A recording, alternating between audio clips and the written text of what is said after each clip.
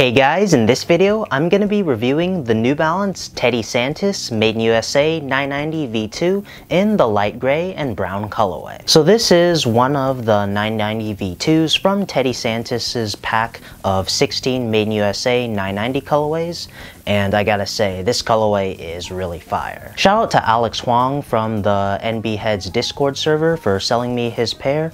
Um, I'm really excited to get my hands on an early pair of the Teddy 16 and I'm excited to get the rest of the pack. So as usual, I'll be doing a full overview of the shoe as well as an on-feet look, as well as my thoughts and opinions on sizing, comfort, technology, design, and quality of the shoe. Starting with the box, the shoes come in a cream white and red New Balance Main USA box with special branding all around the box.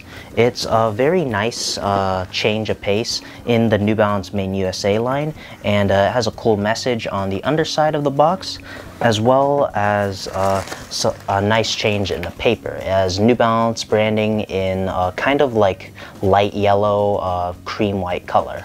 Starting with the toe box of the shoe, the mug mudguard of the shoe is made out of some really hairy gray suede, and the middle of the toe box is made out of an olive green mesh, and surrounding the middle area of the toe box are panels of darker gray suede, and at the top of the toe box is a small panel of 3M reflective material. Moving towards the side of the shoe, you get another bigger panel of hairy gray suede with the New Balance N logo in the middle in a reflective 3M material on top of a white leather panel and the lace eyelets of the shoes are also made out of that hairy gray suede. Moving towards the back of the shoe, you get more panels of hairy gray suede, more panels of olive green mesh, uh, the top lace eyelets are made out of a cream white plastic, and you get the start of a big panel of light brown suede. Moving towards the back of the shoe, at the bottom you get a gray TPU heel clip, as well as the continuation of that light brown suede with a cutout with USA branding embroidered in black on top of a panel of 3M reflective material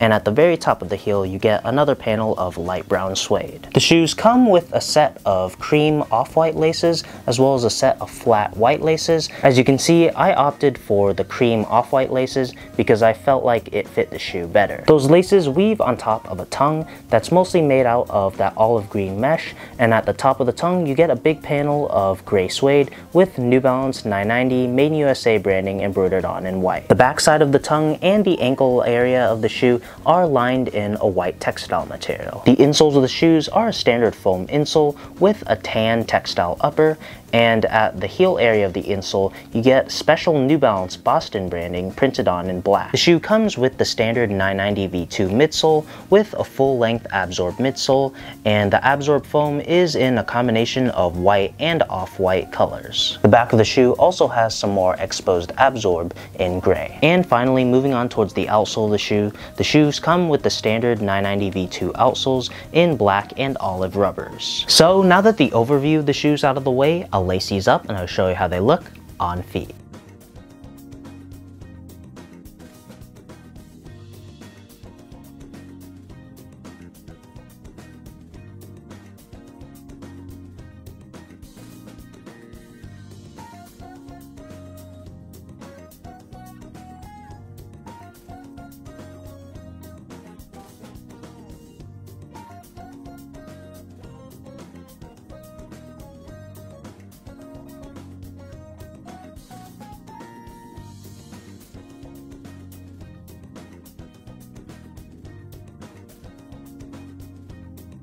So as for sizing, I managed to cop these in my true size, 9.5, but uh, Guy in Kicks in his review suggested to go down half a size because the toe box was slightly bigger than usual 990 V2s. I usually go true to size in my 990 V2s, whereas in my V3, V4, and V5s, I go down half a size because they have bigger toe boxes compared to the V2 um, but this V2, I think I'll have to agree with Guy in Kicks, and uh, the toe box does feel a bit bigger, and I feel like I could have went down half a size to a size 9, and it would have fit me well in a secure, snug way. But as I always say, if you have the chance to try these on before you buy them, I definitely recommend you do that since everyone's feet are different. And despite these being a 990 shoe, they're most likely not going to come in wider or narrower widths. As for comfort, this TD2 pair from the Teddy Santis 16, uh, it feels like every other 990 V2 and it is a pretty comfortable shoe. That full length ABZORB midsole gives you a good combination of cushioning as well as support and stability and it's great for all day comfort. It's not as comfortable as the 990 V3, V4, and V5 but it is a very comfortable lifestyle shoe in my opinion. As for quality, this being a made in USA shoe as well as a part of the Teddy Santis 16, my expectations were really high and they were definitely met. The hairy suedes used on this shoe was out of this world and it's crazy to think that this is supposed to be considered a GR. I mean, I guess in a way it's kind of a collab with Teddy Santis but not ALD, but uh, it's considered a GR and the suedes were amazing. Um, it's mostly suede, uh, other than the olive green mesh, which was also great. Um, all the suedes used on this shoe were very buttery to the feel, and there's nice backstrokes whenever you stroke the suede.